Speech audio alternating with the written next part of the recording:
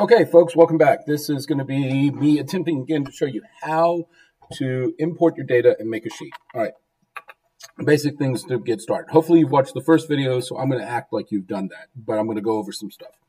We start, open up Google Sheets. We know that we want to measure time, which was in seconds, versus temperature, which was in Celsius. Okay, so if you uh, notice here that temperature, uh, that degrees Celsius is not a thing. Um, normally, you can go in here and like insert um, special character, but that is not available to us. But we can go out onto the internet and say Unicode degree Celsius, pardon my spelling, right? And Unicode degree Celsius is right here. We can highlight that, copy it, come back in here and paste it in. So now that's how we get degrees Celsius. You could also do that in a Google Doc. Okay. So as I showed you yesterday, we knew that we were going by, you know, we started at zero seconds, then 10, then 20, then 30, then 40, then 50. And that's sort of a pain in the butt to do. So if you highlight all that data, come here, grab it, drag it down, it automatically does that. As I said, this can do any, you know, sequence. So if we want to go by, if we want to go by odds, right, three, six, nine, right. I don't think it's smart enough to do um, a Fibonacci sequence.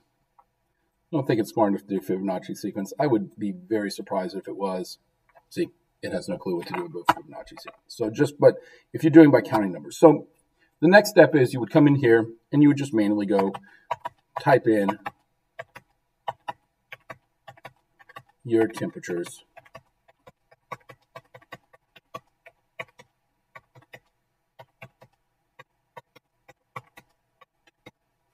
Like so.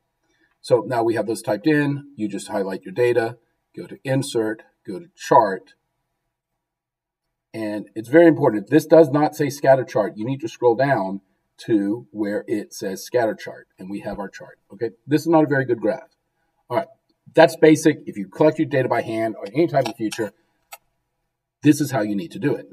But we can go one step better than this. So let me go ahead and just delete all of this and show you what I'm talking about. So if you see over here, if you see over here, this is the data we collected the other day, day using Vernier graphical analysis. Here is the, make sure I got the right data set. This is data set two. So here's the data set. Um, if you're on your phone, you would long press on these. Since I'm on the computer, I'm just going to select both columns using the shift key, hit control C to copy, come over here, hit control V to copy it down. Data automatically copies, data automatically copies in. We select our two channels, we go insert chart again, and boom, Bob's your uncle. Um, obviously, this is not a good title, so we're going to want to call it the phase changes, chain, phase changes of water. Again, in Google, I, you know, don't quite like that blue. Let's see, what can I do about that? Eh, if I don't like the blue, I could change it to like a red. Uh, if I want to uh, change the point size, I can make them a little bit smaller. I can make them X marks. You know, I can change the, the look and feel of it. But that's simply how it does. Uh, we have a title to our graph, which is good. We have the uh, units labeled over here. We have the units labeled over here, nicely scaled. I can, um, you know, play with major tip marks. I could say like minors.